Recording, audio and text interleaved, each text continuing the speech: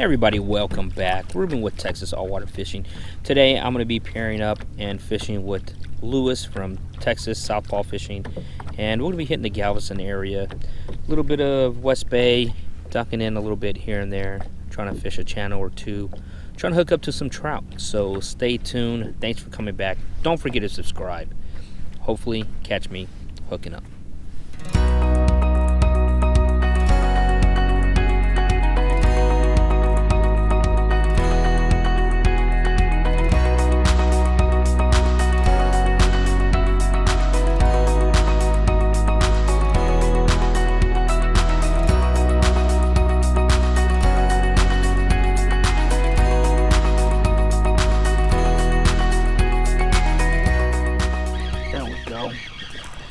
little guy, I think. Uh, maybe. A little big, little bigger than I thought it would be. Was originally. Let's see if we can get him up here. There we go. Let's see. Right here. Corner of the mouth. Just barely got him. DSL. He's going to be 15 and three quarters DSL, I think that's chicken of the sea. Little guy. I'm gonna put him on ice. Yeah, it's about six, seven, six, six right here. Had that one fish on, that one speck caught. Just had another bite, so maybe they're gonna be a little deeper today. The water temp's about 67 degrees. As you can see, we're extremely foggy, but very calm wind so hopefully this fog will stick around and uh, we'll be able to find the trout. Kind of what I'm targeting today. Some more specks there we go. Got him on the bottom. He's a small guy. Smaller than the last one. Actually this is a sand trout. So like I was saying the mud is a little warmer holds a lot of warmth. So a lot of times you will find the fish down low in the mud. So that's why this time of the year we try to target some deeper holes. It doesn't mean that that's where the fish are only going to be.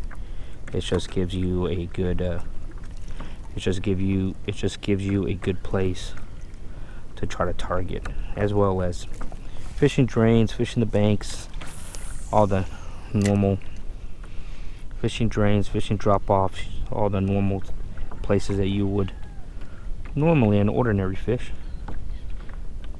Looking for some deep holes is always important this time of year.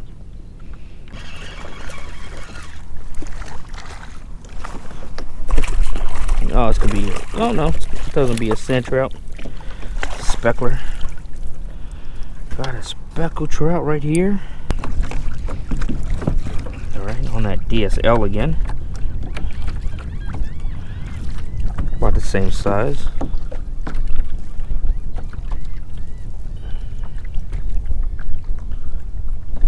About the same size as that other last one.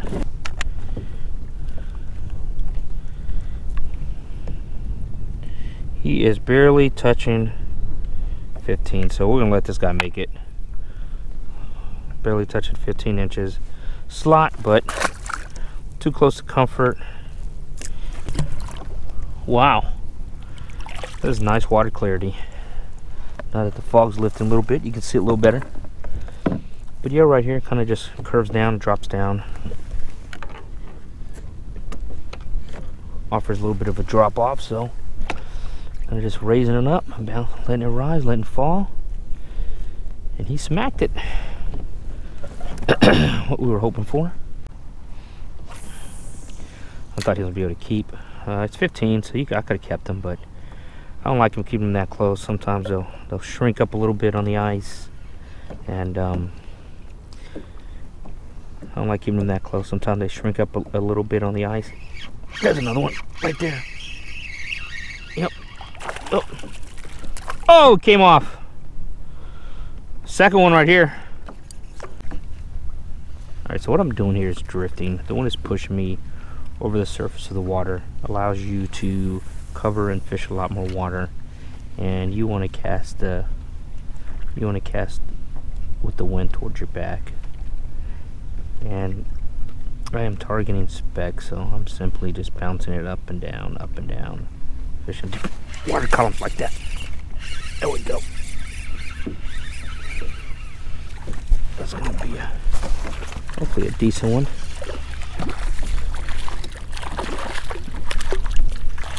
There we go.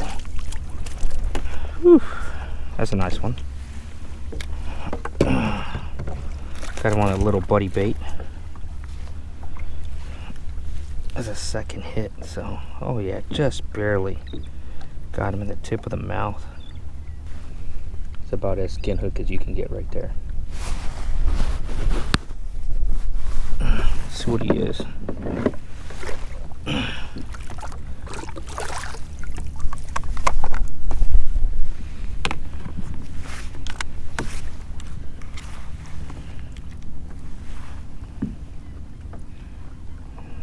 It's to be right at 15 inches. Again, just barely, just legal, but a little too close for comfort for myself. So, gonna get him unhooked. There you go, Rick. All right, guy. Golly. Get him unhooked and get him on his way. But yeah, that is drift fishing at its finest. Just casting ahead of you, ahead of your drift. You want to do it ahead of your drift because if you get hung up, you don't have to go back and get your hook, your lure. If you get hung up, you just drift over the top of it and hopefully be able to get it out.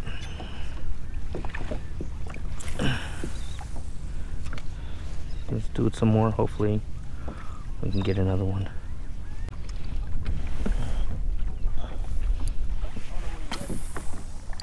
Ah! Too almost too far. Then too short. Yep, there he is. See him? Oh, he's still there. Yep. He's into it. huh? He's into it.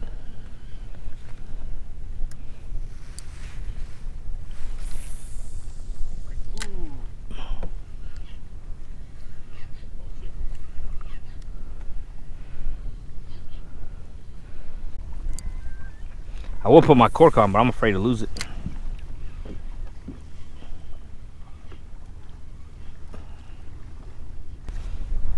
Oh.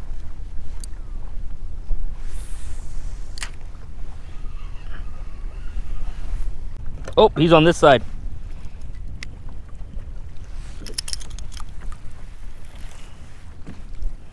Yeah, that just happened.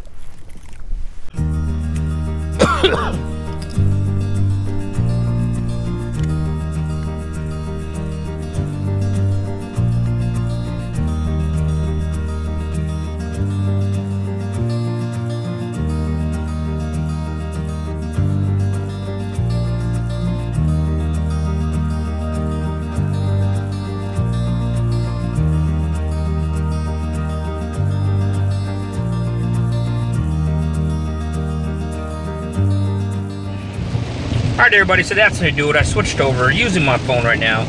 We just got some pretty bad weather that blew through. Wasn't supposed to be this bad. Ended up being some pretty nasty weather. So we got off the water pretty quick. Ended up the day with three slot specs, real, just barely legal, and had a handful of dinks. But that was it, you know, it wasn't really too much going on. The weather looked great for a bite. You had the overcast, the fog, the wind kept shifting from south to southwest, so we had nice water movement, great water clarity. But it was just a weird bite. I mean, it really was, and sometimes it's just like that. The elements are in your favor, but the just the fish just aren't cooperating. Towards the end, we started getting a lot of short bites, a lot of nips. I believe there were sand trout. But all in all, it was a great day. I appreciate each and every one of you. Don't forget to subscribe. Come back. Check out Luis Southpaw, Texas Southpaw Fishing. Until next time, hopefully you catch me hooking up. Thanks.